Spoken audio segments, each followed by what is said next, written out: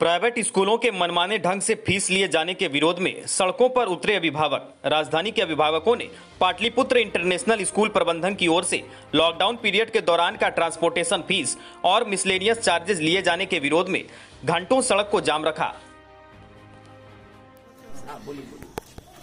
हमारे बच्चों को और हमारे हम हम लोग को पेरेंट्स को साथ में मिलकर के टॉर्चर किया जा रहा है। फ़ीस के नाम पे इन लोगों ने लूट मचा रखी है। सारे प्राइवेट स्कूल्स को इस इस बारे में हम लोग सारे पेरेंट्स लोगों ने कदम उठाया और सारे प्राइवेट स्कूल्स के बारे में हम लोग बात कर रहे हैं। पटना में हर स्कूल में ये चीज़ को लेकर के प्रोटेस्ट कर रहे हैं पेरेंट्स क्योंकि हम लोग मजबूर हो गए इस बात को लेकर के कि ये लोग ना प्रेशराइज कर रहे हैं, जो कि गवर्नमेंट की तरफ़ से ये रूल है कि प्रेशराइज नहीं करना है फ़ी के लिए पेरेंट्स को। बट ये लोग इनडायरेक्टली प्रेशराइज कर रहे हैं। हमारे बच्चों को एग्ज़ाम में, टेस्ट में अपियर नहीं होने देंगे। इन लोगों ने दो अलग अलग व्हाट्सएप ग्रुप बना रखे हैं। जिन बच्चों ने जिन बच्चों के पेरेंट्स ने फ़ी नहीं दे रखे, उनका अलग ग्रुप बनाया और जिन बच्चों ने के पेरेंट्स ने फ़ी दे रखे, उनके अलग ग्रुप बनाया और जिसकी वजह से बच्चों के ऊपर भी बुरा असर पड़ रहा है। बच्चे भी आपस में डिस्कशन कर रहे हैं कि तुम्हारे पेरेंट्स ने फ़ी नहीं दिया, तुम इसलिए तो ये लोग ऑनलाइन क्लासेस क्यों दे रहे हैं? फिर हम लोग ऑनलाइन क्लासेस को बॉयकॉट करेंगे। उसकी वजह से हमारे बच्चों के ऊपर भी असर पड़ रहा है ना। हमारे बच्चे मोबाइल और लैपटॉप की तरफ़ बहुत ज़्यादा ये हो रहे हैं। अट्रैक्ट हो रहे हैं। पढ़ाई कम और लैपटॉप और मोबाइल की तरफ़ ज़्यादा अट्रैक्ट हो रहे हैं। फ़ीस देने के बाद भी नहीं फ़ीस देने के बाद भी हम लोग टॉर्चर किया जाता है कि टर्म फ़ीस और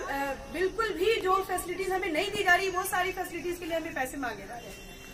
टर्म फ़ी एनुअल फ़ंक्शन जो नहीं हो रहे हैं उसके पैसे मांगे जा रहे हैं। दिया लाइब्रेरी जो हमारे बच्चे नहीं यूज़ कर रहे हैं उसके पैसे मांगे जा रहे हैं। स्कूल खुला ही नहीं रही है सारी फैसिलिटीज़ हमारे स्मार्ट क्लास ही नहीं। हाँ स्मार्ट क्लासेस की फ़ी मांगे जा रहे हैं। हाँ, क्यों हैं? देना- है। ही पड़ेगा हाँ, क्यों देना। पड़ेगा? क्यों देना पड़ेगा? हाँ?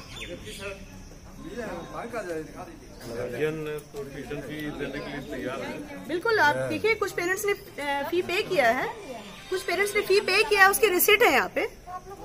ठीक है दो दो रिसिट है।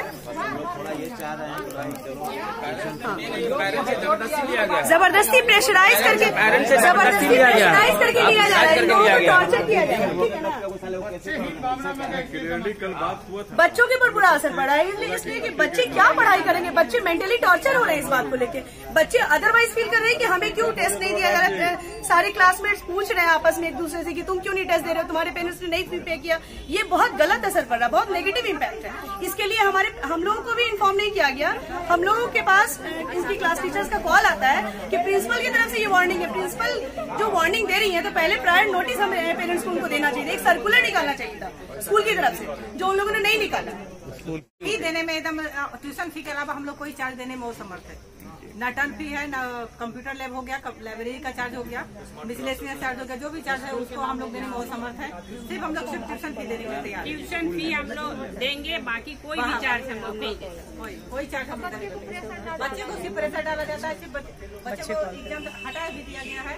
प्रेशर बनाने के लिए एग्ज़ाम से हटा दिया है। मेंटली टॉर्चर किया जा रहा है। टॉर्चर भी किया जा रहा है उन लोगों की नहीं तुम लोग तुम लोग अपने पेरेंट्स से बात करो पेरेंट्स पेरेंट्स के पास रहेगा इतने बारह साल से हम लोग बच्चे पढ़ा रहे हैं। इतने दिन से तो कभी हमने इस बात पे नहीं किया कि हम लोग कभी छोड़ा नहीं कभी ट्यूशन फ़ी नहीं दिया या किसी चार्ज किसी बात का कोई कम करने के लिए हम लोग नहीं चार्ज किए अब ऐसी परिस्थिति आई है इस वजह से हम लोग ने ये कदम उठाया है और इस पर हम लोग स्कूल प्रशासन से रिक्वेस्ट कर रहे हैं कि हम लोग को माफ़ किया जाए। स्कूल ताला खोलने को तैयार और दीजिए दीजिए। इंटरनेशनल स्कूल के नीचे खड़ा हूँ। अब मैं अपने घर पे पे- बच्चे के गार्जियन हूँ और मेरे बच्चे यहाँ पे जो हुआ है कि मेरे बच्चों को इतना टॉर्चर किया गया है क्योंकि हमको लास्ट में यहाँ पे आना पड़ा। क्योंकि वो लोग फ्रेंड सर्कल में लोग ग्रुप बांट दिया गया है जिसकी वजह से बच्चे मेरे अपसेट हो गए हैं रात में घर में रोते हैं। और इतना बोलते हैं कि आपने बाबा पैसा नहीं दिया। मैं बोला ठीक मैं जाता हूँ। मैं बात करूँगा। और मेरे ऑलरेडी मैं प्राइवेट जॉब करता हूँ। मेरे को सैलरी जो है ऑलरेडी एक दो महीने का आया भी नहीं।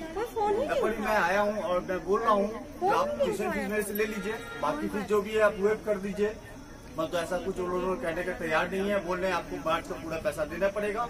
और दो एप्लीकेशन दीजिए। मई जून तक तो हम देखेंगे। तो ये देखने का मतलब ये हो गया कि आप हमको फिर अगले महीना लेंगे तो, तो मेरे पास ऑलरेडी दो महीने का कंपनी ने सैलरी दी तो मैं आपको कहाँ से दूँगा? तो इस ये बात है इसलिए मैं खराब हूँ। हो गया बहुत